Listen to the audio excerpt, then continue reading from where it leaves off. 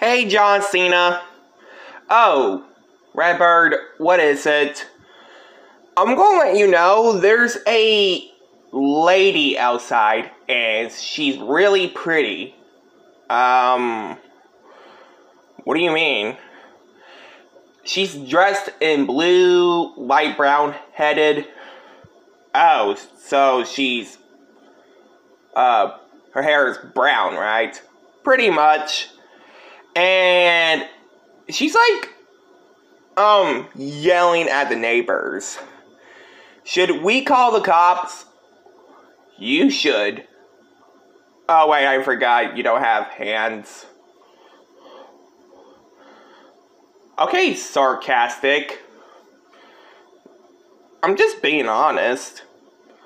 But yeah, that's a problem about the cops. What? I called them the other night.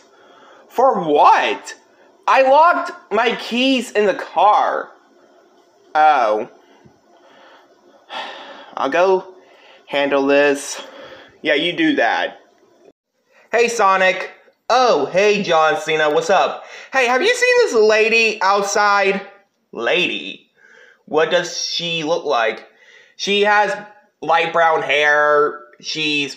Her clothing is blue. Oh, her? Yeah, she ran inside the house like five minutes ago.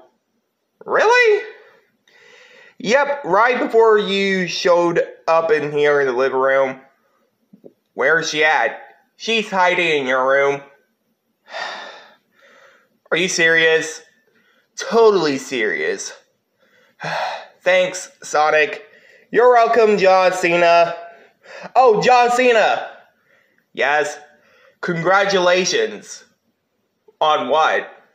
On being the DLC for Mortal Kombat 1? That's Peacemaker. Oh, yeah. So you're Nobara, right? Yes, I am, John Cena. And you're the one who was at my house a week and a half ago? Well, two weeks ago? Yes. Oh, well, why are you here?